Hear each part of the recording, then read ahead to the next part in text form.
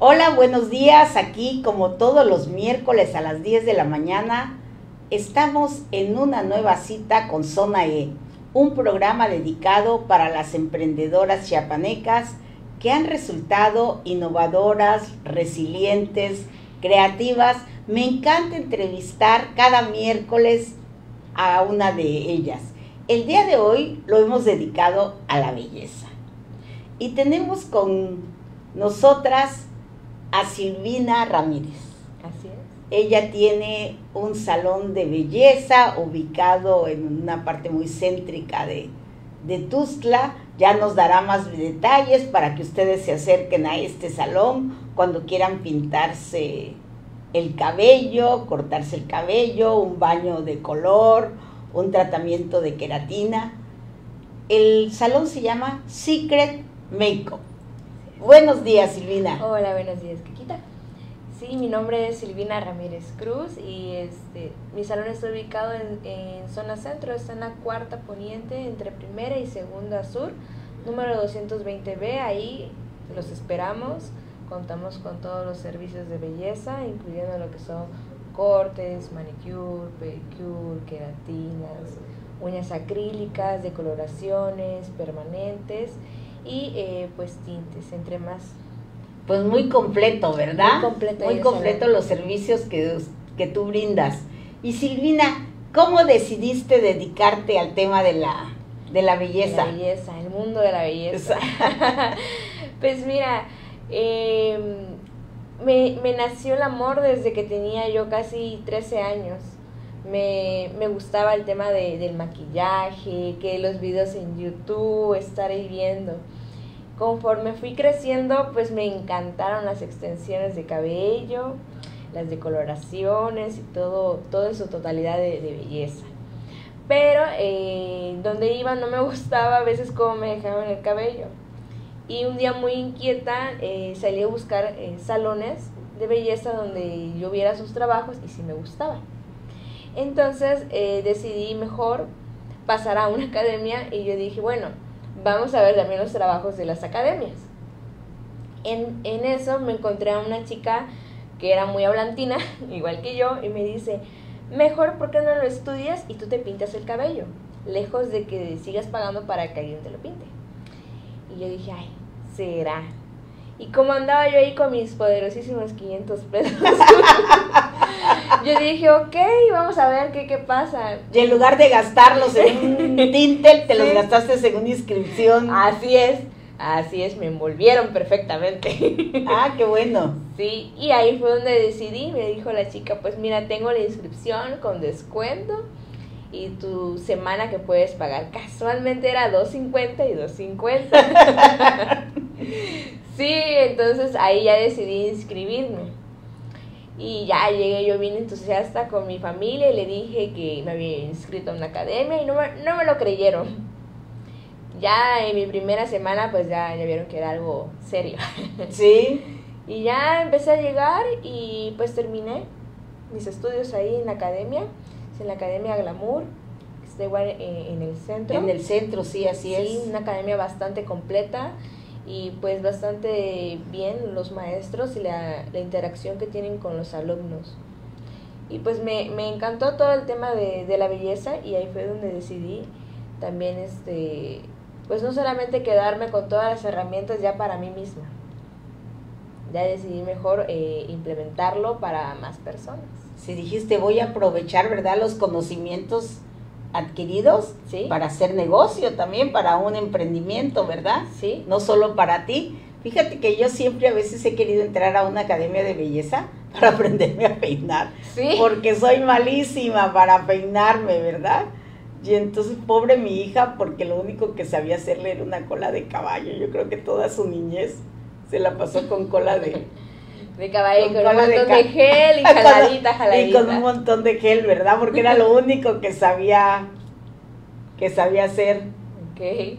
Sí, y es tan bonito ver a alguien que sabe sacarse partido a su cabello, ¿verdad? Que se peina de diferentes maneras, ¿no? Sí, que sí, utiliza pues accesorios, este, broches, ¿no? Y que se ve muy bonito. Sí, es un arte, la verdad, y, y mucha paciencia que se necesita como para poder prestarle bastante atención a las trencitas, que los peinados, los recogidos, es, es un arte y es algo de mucha paciencia y más que nada de la paciencia es una terapia para uno mismo. La belleza yo siempre he dicho que es una terapia para la mujer que se lo está haciendo y tanto como la que se lo está haciendo. Así es ahora con tantos tutoriales, ¿no? Sí. Es muy fácil aprender, ¿verdad? Sí, es fácil, es fácil aprender, pero... sobre todo la cuestión esta del maquillaje, porque ya vienen diagramas, ¿no? De cómo te pones este el corrector, cómo te pones el... El contorno. el contorno, el rubor, ¿no? Sí, sí, sí. Pues es, es bastante completo también la información que se encuentra en internet, pero hay que estudiar también un poquito para saber qué tipo de rostro tenemos, porque no a todas las chicas nos va eh, ahora sí la imagen que aparece ahí, ¿no? Que aparece aquí todo blanco y aquí corrector. Y a la mera hora dicen, me lo difuminé y no quedé. No quedé igual. no quedé igual. ¿Qué pasó? Pues es el tipo de rostro. También e, e, esa parte es bastante interesante dentro de todo lo que es de belleza, conocer cómo es nuestra silueta también. Eso tiene mucho que ver y también eh, hay lados, por ejemplo, que de nosotras que creemos que ese es mi mejor lado que este. Bueno, hay que ver el por qué y hay que emparejar es, o asimilar bastante también nuestro otro ladito de la cara, porque pues todos tenemos, por ejemplo, una cejita más levantada que otra. Todo, la mitad del cuerpo en, sí es un poquito diferente. Sí, y por ejemplo, cuando te pintas, si no te pintas en un lugar que esté bien iluminado y luego sales, te das cuenta que un ojo está completamente diferente al otro, que en uno le pusiste más sombra o lo alargaste más, el otro está caído, ¿verdad? Te das cuenta de esos pequeños detalles que son tan importantes, ¿no? Sí, sí, sí, es bastante importante. Y el tema de la luz, me, me tocó que cuando era yo pues niña, yo ponía mis lucecitas y todo y me miraba y yo, ay, pero aquí me puse bastante corrector y aquí me puse bastante polvo o rubor y de este lado bien, bien natural y aquí bien de noche. Sí, cambia. Sí, es bastante importante la luz. Mm, ahí en el salón tenemos igual bastantes focos. Eh, tocadores pues para que podamos este ahora sí maquillar bien a la persona y arreglarla que es lo importante la iluminación también tiene mucho que ver. Sí, y además cambia hasta el color con la iluminación, ¿no? Sí. Sí, es diferente por eso un maquillaje para el día que un maquillaje en la noche, ¿no? Sí, en la noche es más cargado. En el día pues obviamente se ven nuestros detallitos, es más, más natural, más ligero lo que tiene que ser. Sí, a mí me encanta mucho el, los tonos nude, ¿verdad? Así los tonos beige, que se usaron mucho en un, en un momento. Sí, porque se ven muy naturales. Sobre todo a mi edad, ¿verdad? Que yo creo que ya le debamos, debemos ir bajando un poco al uso de tantas sombras y buscar algo más natural. Sí, sí, sí. Pues también hay, este, eh, en este caso, pues pieles maduras que hay que saberlas maquillar o preparar, por eso es la preparación de, de pieles bastante importante, porque aunque no quieren estar exageradamente maquilladas o ponerse sombras y, todo, con que se pongan un, ahora sí, una buena preparación de piel y solamente polvo y base, con eso podemos arreglar muy bien también eh, la carita, ¿no? que ya tapar las manchitas, que una ojerita, todo eso es, es muy importante para las pieles maduras. Sí, porque ya tenemos este manchas que surgen con la edad, ¿verdad? Son manchas más intensas que las de una joven, ¿no? Sí. Sí. Eso es lo, lo, lo, importante. Las pieles jóvenes, hay pieles que son pues perfectas, entre paréntesis, que no tienen ninguna imperfección, ¿no? y hay pieles que sí tenemos bastantes imperfecciones. Entonces, la preparación en, toda la, en, en todas las personas no es la misma. Cada una se, se adapta al tipo de, de, rostro y pues si el cutis es graso, si es mixto, si es seco. Por eso es muy importante la preparación de, de piel. Sí, claro, Porque una piel seca necesita estar más hidratada, ¿no? Sí, más, más hidratadita. Poner mascarillas, poner su cremita, su suero, su vitamina. Todo, todo, todo completo. Así es. Y por ejemplo, cuando llega alguien a tu salón y que si quiere cortar el cabello y te muestra un corte que no le queda, ¿qué haces? O que no le queda a su tipo de cabello. Por ejemplo, a mí me encantan muchos cortes de cabello para lacios, pero yo no lo tengo lacio, entonces no me va a quedar así, es imposible, a menos que todos los días esté con la plancha, ¿verdad? Sí. Con la, este, con la pistola, que eso también te maltrata el, el cabello El cabello, ¿tú les, les aconsejas? Sí, sí, claro, se les aconseja. Antes de hacer algún servicio se le da la consultoría. Es muy importante, se les dice. A veces quieren eh, un, un, corte bob, tiene que ser súper láser pero su cabello se le hace así. sí, o se levantan las puntas. Sí, entonces yo les comento, les digo, mira, se te puede realizar, pero te aconsejaría que te hicieras un alaciado permanente para que luzca. Ahora, si no te quieres realizar ningún alaciado permanente, pues hay más tipos de, cortes y les empiezo a, a apoyar con el tipo de rostro que ellas tienen y pues el tono también que traen, para que eh, el rostro se vea más armonioso, más iluminado. Un corte también puede hacer eso, o sea, darnos más luz, no necesariamente un tinte. Así es, un corte te puede cambiar totalmente la, sí. la cara. Sí, por completo. Sí, yo cuando veo fotos de diferentes épocas de mi vida y dije, ay, ¿cómo hizo usted? Porque no había consultoría antes. Corte, ¿no? Sí. Sí, y yo creo que en ese momento me sentía yo feliz con el corte, ¿verdad? Pero cuando ves, este, pues en esa época tenía yo más kilos, ¿verdad? Y entonces un corte muy cortito, pues te hace como más cachetona, ¿no? Tienes que tener un corte como más largo que te afine el rostro, ¿no? Sí, sí, sí. O peinarnos diferente. Sí, porque a veces aunque tengamos una línea en medio y suelto, también hay que hacernos por ahí algo. Aunque sea ponernos un brochecito, una trencita, también nos ayuda a cambiar bastante pues la silueta, así de nuestro rostro. Sí, eso es muy importante para salir, porque creo que eso nos ayuda también a nuestra autoestima, ¿no? Claro, claro. Eh, todo lo que es belleza nos ayuda a levantarnos el ánimo Sí, todo. Por eso comentaba que, todo el rubro de belleza es una terapia para quien lo está realizando y para quien se lo está haciendo. Todo es una, terapia y hay mujeres que he atendido incluso que llegan con una autoestima muy baja.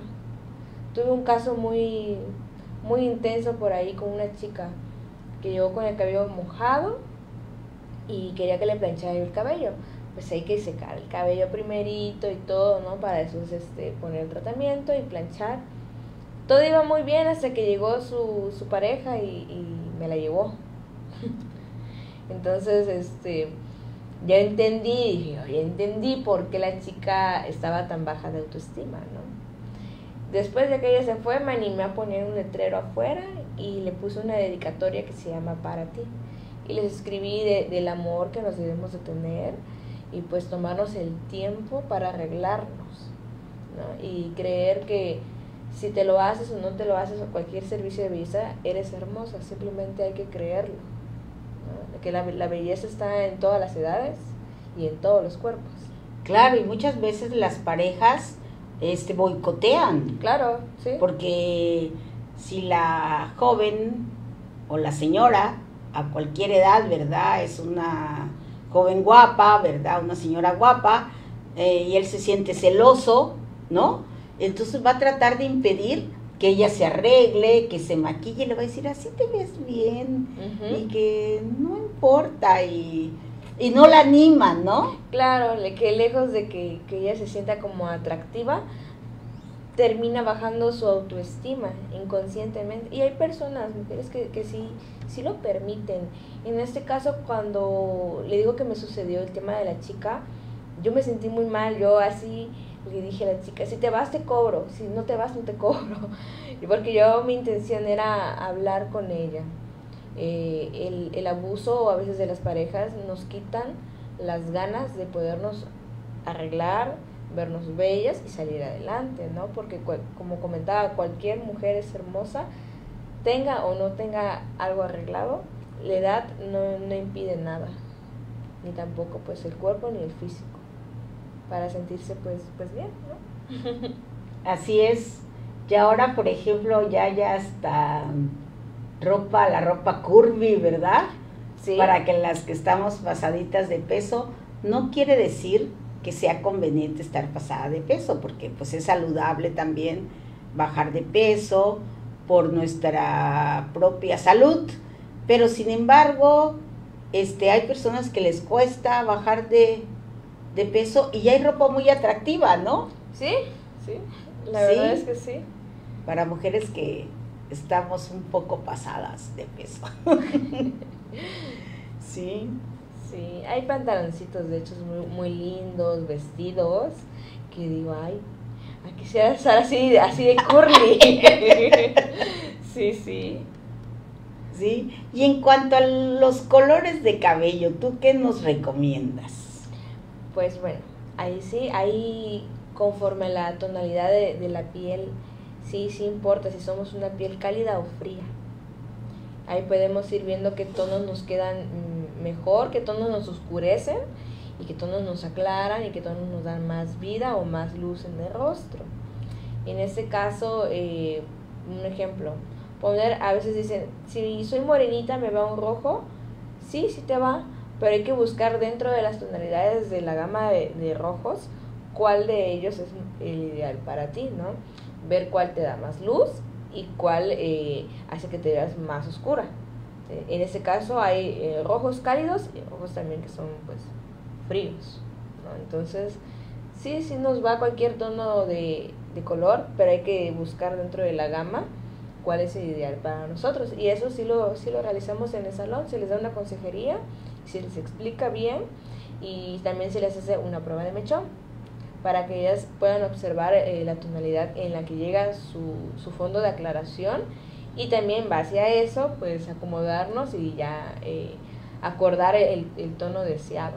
Sí, porque muchas veces uno ve el tono en el muestrario y, no, y cambia cuando ya no los aplican por el tono de nuestro cabello que traemos en ese en ese momento, ¿verdad? Por muchas razones cambia el tono, ¿no? Sí, bastante.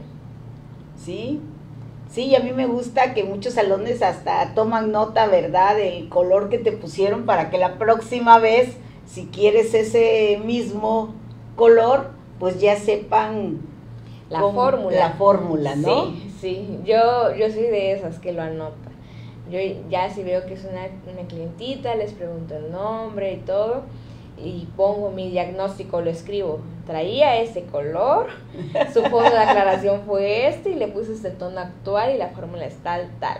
Por ejemplo, un, un rojo, ¿no? Ya les pongo rojo, pero abajo de este rojo le hice una extracción de un negro, por ejemplo, para que yo ya tenga como que en mente qué, qué tonos trae para que ya después cuando la vuelva yo a atender ya sepa y no empezar desde cero, porque hay, hay muchos salones que empiezan desde cero a pesar de que la cliente sea muy frecuente. Sí, pero se olvidan de lo que debes Debes tener tu historia ahí de cada una de tus clientas y eso demuestra también el interés que tienes por ellas. Sí, sí, sí, pues así la, la atención que se les da a cada una de ellas, pues al menos yo trato de que sea muy personalizada y pues me tomo mi tiempo, que eso es lo importante. Tampoco podemos ir a un salón a que nos hagan un color en menos de una hora porque no.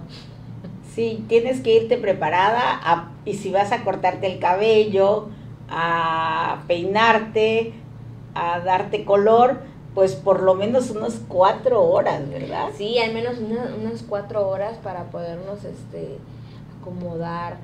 Al menos yo hago eh, lo que es eh, la decoloración. Si traen mucho exceso de crema, pues primero lavo el cabellito, seco el cabello, hago la prueba, que si voy a hacer un balayage, le empiezo eh, a acomodar bien, todo, la, la fórmula, uh, nos lleva un, un buen rato.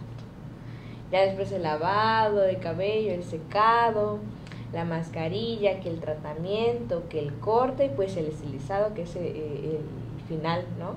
Ya sea con un peinadito o algo. Entonces sí, ese es tiempo. Eh, yo a veces me he llevado procesos desde cuatro horas hasta las nueve horas. Sí, sí, tienes que tener toda la paciencia del, del mundo, ¿no? Y saber que hasta te llevas tu sándwich. sí, también ahí les invitamos a, de Más preparada, ¿no? Para dedicarte un buen, un buen rato. Sí. Sí. Me acuerdo yo hace años, cuando estudiaba en México, en esa época era famoso Alfredo Palacios. Yo creo que te habías nacido. y este y fui con mi hermana y otras amigas a su salón. Yo no iba a hacerme nada. pero yo llego a un salón de ellos y siempre se me antoja hacerme algo. Tenía el cabello largo y entonces este, le dije, quiero cortármelo. ¿Quieres algo en especial? No, le dije, tú eres el, el experto, ¿verdad? Así que me pongo en tus manos. Y me hizo un corte bien cortito. Pero de esas veces que sales del salón que te sientes guapísima, ¿verdad? Sí. Sí. E-, es, increíble, sí, lo que te lo que te cambia, te cambia la vida. Sí, el autoestima que, que hace un corte. Y el estilizado, el acabado, nos hace sentir bonitas. Sí, así es. Y ahora también con tantas cosas para las uñas, ¿no? Sí. Primero que pues que surge el gelish, ¿no? Que hace que, que puedas este, tener un un esmalte pues más tiempo, a veces te dura cuando es un buen buen este material, ¿verdad? Buen producto, te dura hasta tres semanas, ¿no? Cuando con la, el esmalte normal, en cuatro días ya se te... Ya se rompió todo, ya se levantó. ya se levantó. Claro que la ventaja que en el esmalte normal pues tú te lo puedes despintar y pintártelo en tu casa, mientras que el gelish necesariamente tienes que ir a un salón o comprarte tu acetona esa especial y tenerla en casa, que no es tan fácil, ¿verdad? Sí, no, no es tan fácil como parece. Sí. Sí, también el, eh, el gel semipermanente, eh, bueno, a mí me, me gusta mucho. Casi no soy de, de ponerme tantas uñas y todo, por el tema de que estoy haciendo todo el trabajo. Me es un poquito incómodo a veces el, poder trabajar así. Pero sí, el gel semipermanente, en mi caso, me ha tardado bastante tiempo a pesar de que si ya estoy haciendo unas uñitas, y ya me pasa a traer tantito mi, mi uña, no pasa nada, pues eh, le pongo a veces capas de rubber, que es también como un gel vitaminado, es una capa más gruesa que un gel semipermanente. Y pues me tarda perfectamente, a mí me tarda hasta un mes un, gel en las manos, sabiéndolo este, pues aplicar. ¿no? Claro, a mí me ha pasado también así, ¿verdad? Que cuando el producto es de buena calidad, ¿no? Sí. Que te aguanta un buen rato. Sí, aguanta bastantito. No, y además ahora hay una gama de colores increíble. Ay, sí. Yo tengo una debilidad con los geles, sí. Sí. Veo una cajita de gel y Creo que esa tonalidad no la tengo. y voy y la compro. Y así, voy adquiriendo todos mis geles también. Sí, es increíble esa cantidad de, tonalidades que hoy tenemos. Sí, son muy bonitas, la verdad. Yo, yo me pierdo en, los tonos. Me encantan los geles. Y nos platicabas también que tienes una otro emprendimiento de alitas, ¿verdad? Un cambio total de giro. Claro, sí, por completo, como que de belleza a comida. comida. pues es que también dentro del trabajo de, belleza también nos da hambre. Así es. nos da tiempo de pensar en algo importante que es la comida dentro de, todo el Barriga llena, corazón contento. pancita feliz. Sí, así es Sí, tengo un proyecto este que ya está ahora sí consolidado. Pues lo tenemos eh, a una cuadra del Parque de la Marimba, que sería la segunda norte entre séptima y octava poniente, eh, número 860B. Se llama Cachito de Sabor. Cachito de Sabor, en la segunda norte. Sí. Como voy a fijar bien. Sí, dice Cachito de Sabor, hechas con amor. Ahí vendemos lo que son alitas, hamburguesas, bombles, eh, aros de cebolla, dedos de queso, papas a la francesa, salchipapas. Eso es por la tarde. Eso es por la tarde. Sí, ahí estamos de 3 de la tarde a 11 de la noche. Sí, sí. Y tú también te das tu vuelta de vez en cuando por ahí. Sí, me doy mi vuelta ahí. Saliendo del salón me voy a mi segunda vida. ¿Tienes bebés? No, no tengo todavía no. Todavía no. Sí, por eso tienes bastante tiempo. si no hay, bueno, muchas mamás ahí andan con el bebé, ¿verdad? A mí me ha tocado convivir con muchos bebés que las mamás no tienen dónde dejarlos y que ahí todas los ayudamos a cuidar cuando salimos a algún algún lado, ¿verdad? Sí, sí. Sí. Pues sí, también eh, eh, este proyecto, bueno, los dos proyectos, el Salón de Belleza y el negocio de Cachito de Sabor, bueno, para mí son como mis bebés. Ah, pues qué bien. Sí, sí, son como que mis bebés y, siempre tratando de, cuidarlos, ambos negocios, y pues ahí estar perseverando siempre.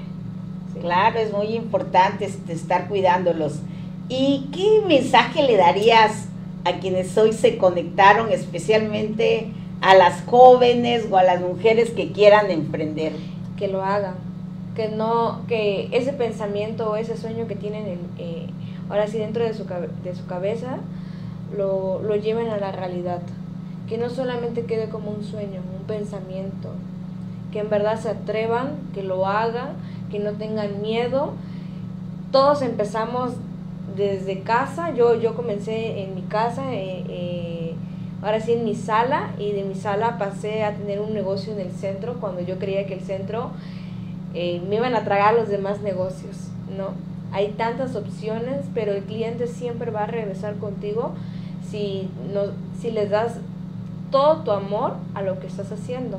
Y yo creo que cada uno de los que me están viendo tienen un proyecto en mente, llévenlo a cabo, no tengan el miedo ni el temor todos lo tenemos, pero al final de cuentas eso queda en el olvido cada que abran su, su, local. Yo tengo una felicidad enorme siempre que me despierto y digo, qué bonito es abrir una cortina del local. Claro, y que es tuyo y que estás triunfando, ¿no? Sí, es algo muy bonito. Yo hasta la fecha lo, lo sigo abriendo y aún no me lo creo que es mío. Eso es muy bonito, eso es muy emocionante, ¿verdad? Y entonces así como dice Silvina, anímense, pierdan el miedo, fíjense bien también qué tipo de, de, este, de proyecto desean realizar, hagan un pequeño plan de negocios donde consideran que es el espacio más adecuado, ¿verdad? Porque ella está en el centro de la ciudad, a otras, otras lo pueden abrir en alguna de las colonias, ¿verdad? o en otro espacio de Tuzla Gutiérrez, ¿no? Tuzla ha crecido muchísimo, pero pierdan el miedo. Y pues muchas gracias Silvina, ya te visitaremos en Secret Makeup. Claro que sí. Y también pasaremos a comernos unas ricas boneles en cachito de sabor. Claro que sí, ahí les esperamos a cada uno de ustedes. Y también se les puede hacer un descuento del 20% en nuestro salón Secret Makeup a todos los que digan que nos vieron en Ultimatum. Ah, pues muchísimas gracias Silvina. Y nos vemos el próximo miércoles con otra entrevista más de estas emprendedoras que me encantan, ¿verdad? Su entusiasmo y que no tienen miedo a aventarse al, al ruedo a las 10 de la mañana el próximo miércoles a través de las redes sociales de Ultimatum MX.